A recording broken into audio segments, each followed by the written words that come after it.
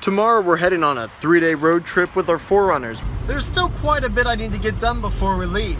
I need to finish my snorkel, I gotta finish lifting it, and wire up my LEDs on my roof rack, because right now they just look cool.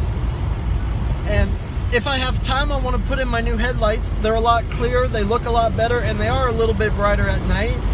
I also need to finish moving my rear differential breather. That way I will be able to cross these water crossings without worrying about water getting into my gear oil. I've already installed the back lift. Uh, I still need to install the front. The back is significantly higher than the front right now, so once I put those leveling spacers in, it should even up quite well.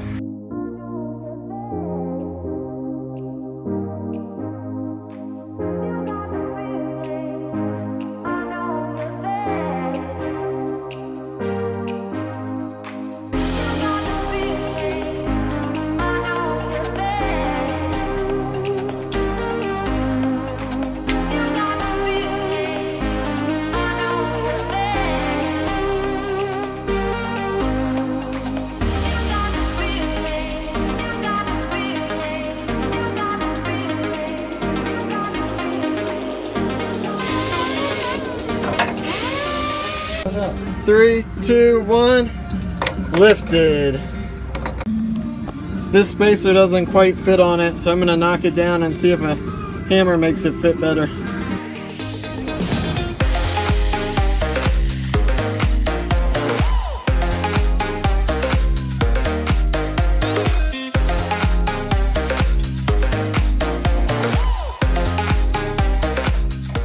So my sway bar link was broken, but luckily I had an extra one laying around.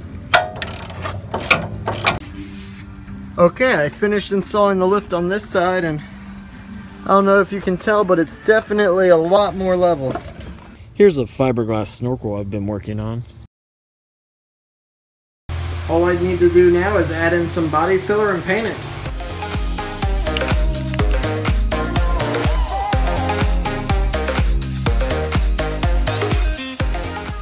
I didn't finish all the body work, so I used a textured paint to hide all the imperfections. Well, most of them. I just installed that snorkel and she's looking pretty good. So I'm really actually digging this snorkel. I made it so it wouldn't be too visible from the driver's seat, but it blends in way better than I thought. When I look at it, I'm seeing this where it just blends into that pillar and it does not affect my sight at all.